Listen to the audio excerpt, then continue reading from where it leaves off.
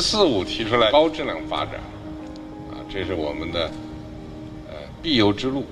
高质量发展中呢，装备制造业是重中之重。那么高质量发展呢，创新很重要。只有创新啊，才能够自强，坚定的走好这条道路，再接再厉，更上层楼。Chinese President Xi Jinping continues his visit to the Guangxi Zhuang Autonomous Region in the south of China. Earlier, he was in the city of Liuzhou visiting an engineering company and local food producers. He's seeking to learn more about reform and innovation, as well as the modernization of manufacturing in the city.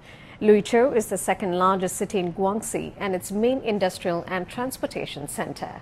Xiao Yunfei has more. Liuzhou is a major industrial city in South China. The city has provided environment for local companies to foster new development engine for modern manufacturing. During his inspection, President Xi also paid a visit to this heavy lift company, Liugong Machinery. The company witnessed the country's infrastructure development in the past six decades. In the 1960s, Liugong produced the country's first modernized wheel loader. Today, the company has expanded its network to dealers from more than 100 countries.